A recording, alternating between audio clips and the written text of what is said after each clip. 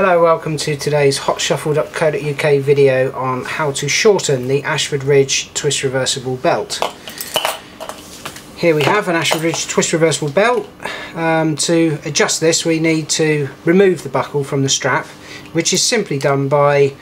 gently pulling the buckle and twisting to roughly 90 degrees and then with I've got a, a sharp screwdriver here um, or a similar tool you just need to open up the